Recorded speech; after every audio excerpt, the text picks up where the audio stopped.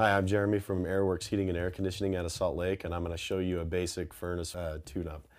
When you're doing your tune-up, you'll want to open the front side of your um, air, your furnace cavity.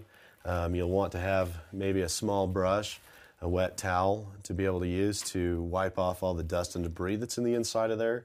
Um, but first of all, what you'll want to do is you may want to turn off the the furnace from operating, which is the, usually the switch or the breaker that you have in your house.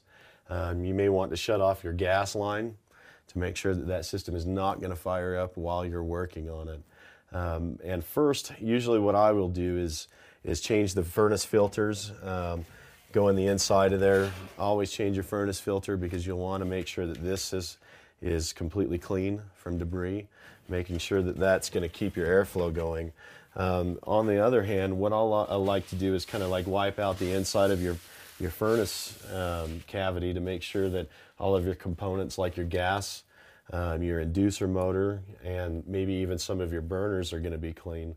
Um, small brush, as you can get into you know some pretty tight um, places to be able to get in there and get all that dust and debris out of the inside of your furnace. Um, but most importantly, if you're really unsure about how you're going to be doing this furnace um, tune-up, you may want to call a qualified technician and have them do it if it needs to be done eh, very extensively.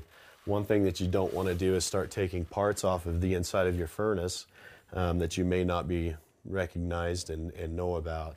Um, but as far as a basic tune-up, you know, wiping things down on the inside of it and, you know, basically getting it clean can always raise your efficiency. Once again, I'm Jeremy from Airworx Heating and Air Conditioning out of Salt Lake City, Utah, and we've just talked about a very basic tune-up.